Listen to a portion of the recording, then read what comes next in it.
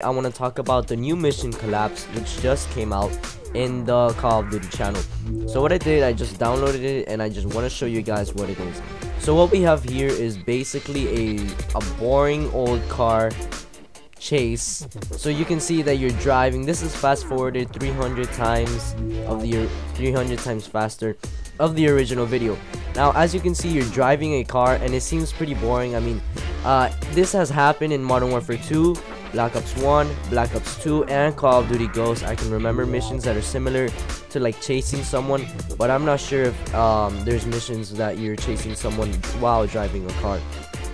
So um, it seems like a cool idea, but I just think it's overused. You know, like I talked about in my other doc uh, commentaries, I say that um, you know some things are overused pretty much. So whatever, let's just skip that.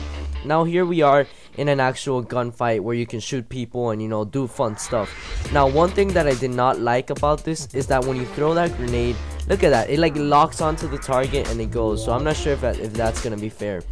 What you just saw back there was a um a boost jump. And you know that's part of the exosuits. That thing that's cool.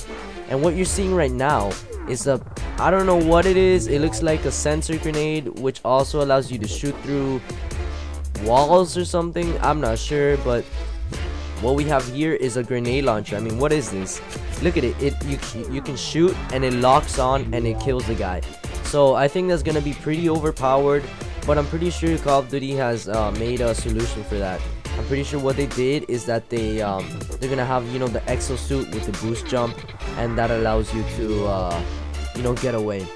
And look at this. Dragonfires make a return again this was in Call of Duty Ghosts. You know, this is getting pretty ridiculous. I don't think this should be in. I think this should make new kill streaks. But whatever. Uh, leave a comment. What do you guys think? And uh, make sure to rate, comment, and subscribe. Goodbye.